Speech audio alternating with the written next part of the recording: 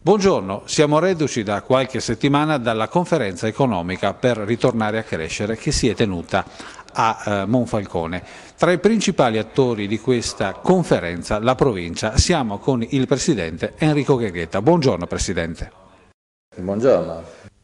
Cosa abbiamo portato a casa? Eh, si è discusso di com'era la politica economica, di com'era l'economia in provincia di Gorizia e come, di come dovrebbe essere, di come sarà. Sì, diciamo che speriamo di aver portato a casa la consapevolezza che stiamo andando tutti verso la stessa strada, che è quella di sfruttare al meglio la nostra nuova centralità europea.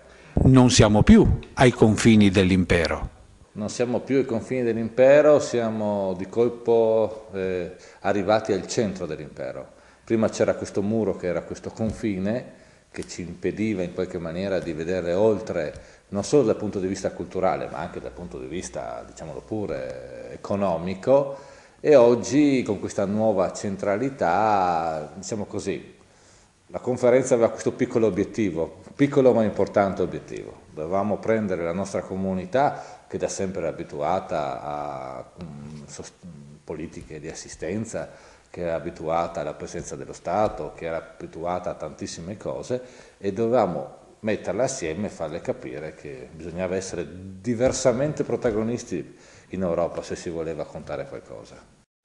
Presidente, in questa conferenza economica sono state fatte tante proposte, eh, però una cosa è sorta in maniera proprio eh, inevitabile. Noi siamo al centro, tutti devono passare di qua. Logisticamente siamo al centro dell'Europa. Diciamo che abbiamo alcune cose semplici, no? come tutti quanti sanno, noi abbiamo il porto più a nord del Mediterraneo, abbiamo le prime pianure provenienti da est e abbiamo l'unico valico di pianura delle Alpi.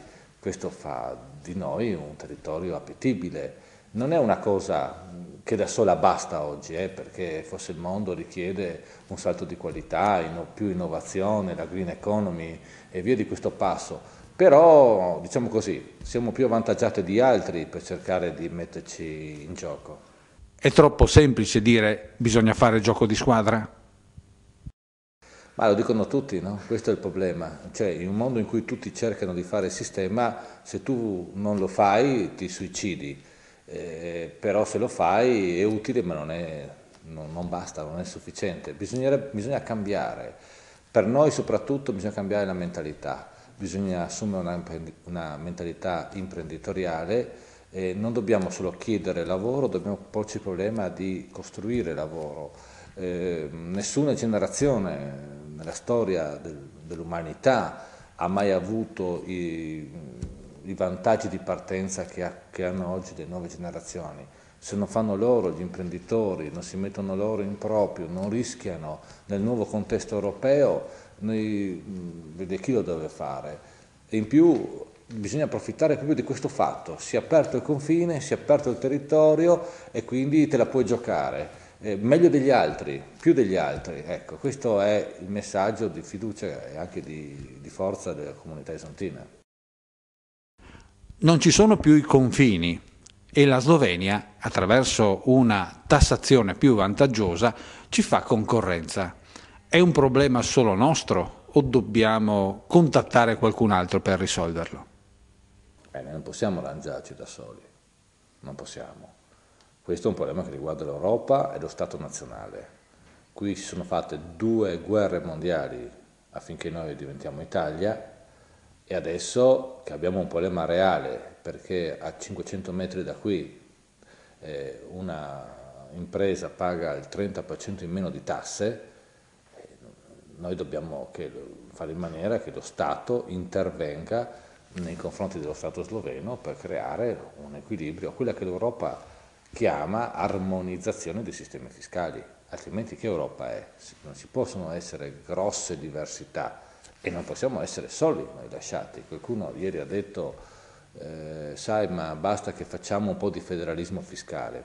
Io gli rispondo come si risponde nel famoso gioco che c'è in televisione, ringrazio il dottore, eh, rifiuto l'offerta e vado avanti. Cioè, non è che dobbiamo fare noi con i nostri soldi ci dobbiamo autoridurre. Ecco, qui c'è un problema reale che riguarda tutta l'Italia, riguarda questo confine orientale, non è più la cortina di ferro di qua la libertà, di là il comunismo, abbiamo un problema reale fiscale, lo Stato deve intervenire, Questo non c'è una condizione a parte, anche perché questa è un'emorragia.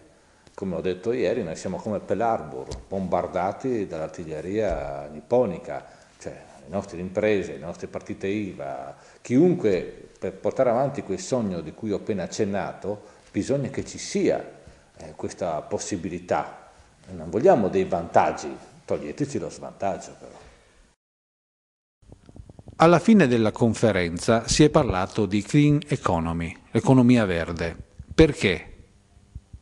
Ma devo dire che il messaggio finale che io ho dato alla conferenza è stato lapidario, e cioè che la ricreazione è finita, per tutti, per tutti i politici, per tutti i consiglieri regionali, per tutti gli imprenditori, per tutti quelli che in qualche maniera pensavano che noi potessimo, eh, perché, che tutto cambi perché nulla cambi, questo è il concetto. No, no, la ricreazione è finita, bisogna assumersi le proprie responsabilità, altrimenti alla nostra gente procureremo un futuro di miseria e non di benessere, dobbiamo prenderci le nostre responsabilità e dobbiamo fare delle scelte, dobbiamo cambiare, non c'è alternativa.